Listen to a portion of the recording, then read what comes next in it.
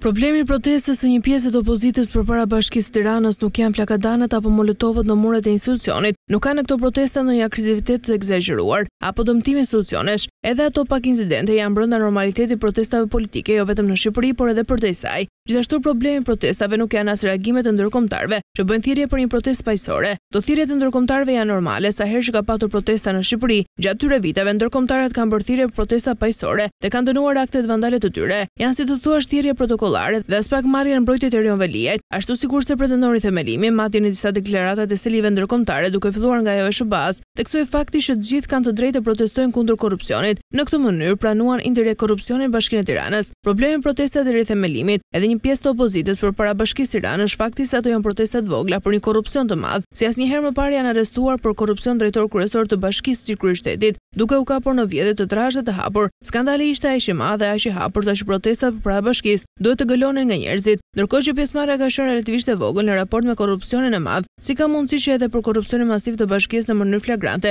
njerëzit nuk ngrihen që të protestojnë? Si ka mundësi që edhe për një çështje kaq të ndjeshme sa vjedhja e hapur e taksave të qytetarëve, këto protesta nuk ndezin? Mund të ketë disa arsye. E para sepse njerëzit ndjehen të frikësuar për të protestuar duke parë përndjekjen që i bën pushteti atyre që i dalin kundër. Është e ditur që arroganca e pushtetit aktual nuk toleron kritikët e tij. Dhe njerëzit padyshim kanë merakun e punës apo të familjes së tyre. E dyta ka të bëjë me ata që udhëheqin protestën. Në krye të protestës shpeshherë gjenden njerëz të cilët perceptohen njësoj të korruptuar, jo të gjithë por një pjesë e mirë e tyre. Kartën morale nëse mendon ta luash në politikë në radhë të parë duhet ta kesh vetë. Fatkeqësia më e madhe është pikërisht kjo gjë që njerëzit e perceptojnë të gjithën politikë. si të korruptuar dhe nuk dalin të protestojnë për vjedhje kaq banale të taksave të tyre, kur këto protesta udhëhiqen nga njerëz të caktuar.